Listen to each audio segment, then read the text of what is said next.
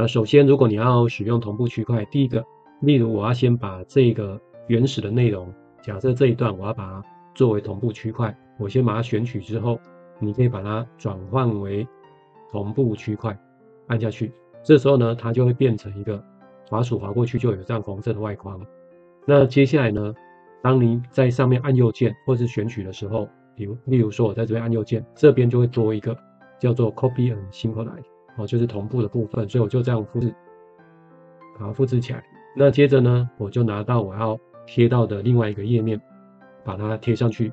那它就会自动的在它上面加上一个红色外框，而且呢，在这边你可以看到，它会问你要不要编辑原来的。事实上，你在这边编辑就等等同在编辑那一边。哦，所以你看，假设我在这边我把它隔开来，那我们回到刚刚任务二这边，这里就同步编辑到了。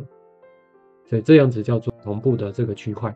那当然你也可以取消，就是在这个点点这边把它做一个取消。那这样两个的连接关系就会断开。